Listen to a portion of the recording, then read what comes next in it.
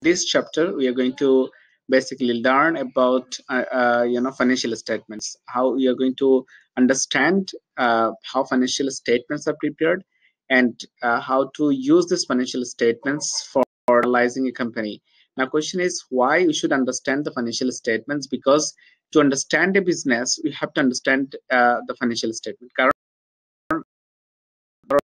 So how we can you know understand the business we cannot understand the business by you know how many buildings that that company has uh, has and কতজন employee আছে বা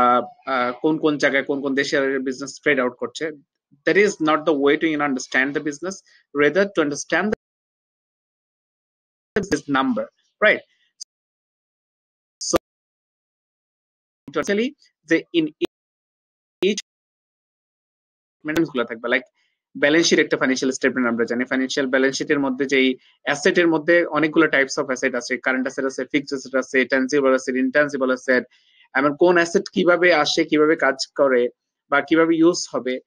so that is what we are going to understand. That means financial statement, we are going to understand the financial statement. At the same time, the financial statement এর মধ্যে আইটেমসগুলা এটার ইম্প্যাক্টটা কীভাবে কি হবে সেই আইটেমগুলো ইন্ডিভিজুয়ালি আমরা বুঝতে চেষ্টা করবো if you understand the items if you understand the financial statement easily understand the business and we can do our further analysis so if we see the next slide uh, uh, that is the financial this uh, financial statement is a qualitative way to showing how a company is doing that means একটা company কেমন perform করছে so সেটাকে বোঝার জন্য আমাদেরকে financial statement বুঝতে হবে এবং ফাইন্যান্সিয়াল স্টেটমেন্ট হচ্ছে একটা বিজনেস কে qualitative way sorry quantitative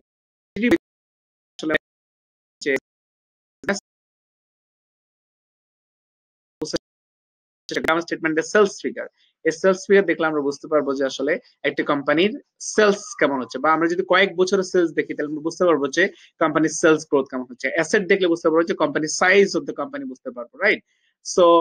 this is what the financial statement is basically financial statement হচ্ছে কি একটা বিজনেসকে কোয়ান্টিটেটিভ ওয়েতে বোঝার জন্য ফাইন্যান্সিয়াল স্টেটমেন্ট আমরা ইউজ করে থাকি সো ফাইন্যান্সিয়াল স্টেটমেন্টের টাইপ বেসিক্যালি পাঁচ রকম হয় এটাকে বলা হয় ব্যালেন্স শিট ইনকাম স্টেটমেন্ট তারপরে statement of owner security uh, statement of cash flows and footnotes. So if you see, of if you look at, uh, you know, uh, uh, annual annual report of any company, you'll see there এই এই পাঁচ রকম financial statement পাবা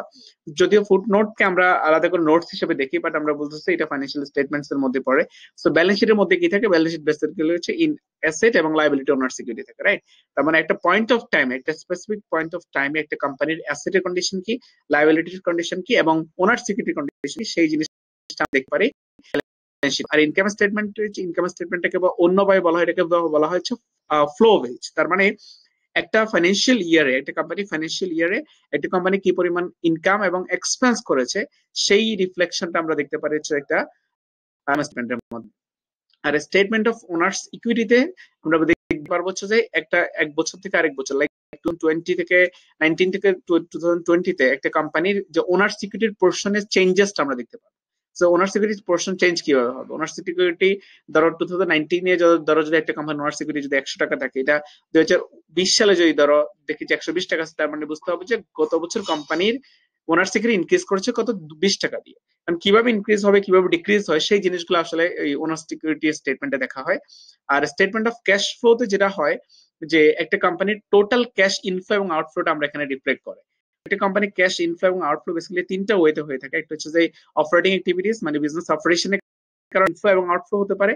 এট the same time কোম্পানির investment activities এর মাধ্যমে কোম্পানির cash inflow এবং আউটফ্লো হতে পারে এবং কোম্পানির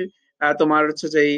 ফাইন্যান্সিং অ্যাক্টিভিটিস এর মাধ্যমে ক্যাশ ইনফ্লো এবং আউটফ্লো হতে পারে। এই যে ক্যাশ ফ্লো স্টেটমেন্টের মধ্যে আমি আসলে আমরা, দেখতে পারব একটা কোম্পানির ওভারঅল একটা বছরে কি পরিমাণ ক্যাশ ইনফ্লো এবং আউটফ্লো হয়েছে সেই পারি আর ফুড নোটস অথবা নোটস যেটা, সেই নোটস এর মধ্যে আমরা আসলে ডিটেলস দেখি। তোমরা যদি ফাইন্যান্সিয়াল স্টেটমেন্ট গুলোকে একটু খেয়াল করা, খেয়াল করো, দেখবা যে ওখানে পার্টিকুলার্স এর সাথে মানে আইটেমসগুলোর সাথে ছোট ছোট একটা ঘর থাকে, যেটার মধ্যে লেখা থাকে হচ্ছে যে নোট লাইক দশ নাম্বার নোট অথবা পাঁচ নাম্বার নোট অথবা দুই number note so if you see the note